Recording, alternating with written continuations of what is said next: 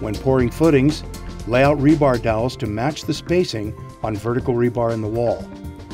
Prior to assembling the ICF wall, slip a 4 inch long piece of inch and a quarter or inch and a half PVC pipe over each vertical stub. This will be used later to secure vertical reinforcing bar that is dropped in from the top. Once the first course has been assembled, pre-cut rebar can now be placed. Place horizontal bar into molded rebar chairs, making sure that there's an appropriate lap where bars are spliced, usually about 40 bar diameters. Place lapped rebar in an over and under fashion to promote best concrete flow.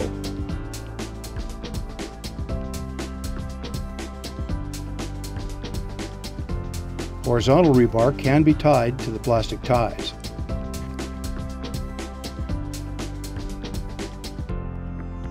Splices that are not in contact with one another are generally allowed by code if the lap distance is sufficient.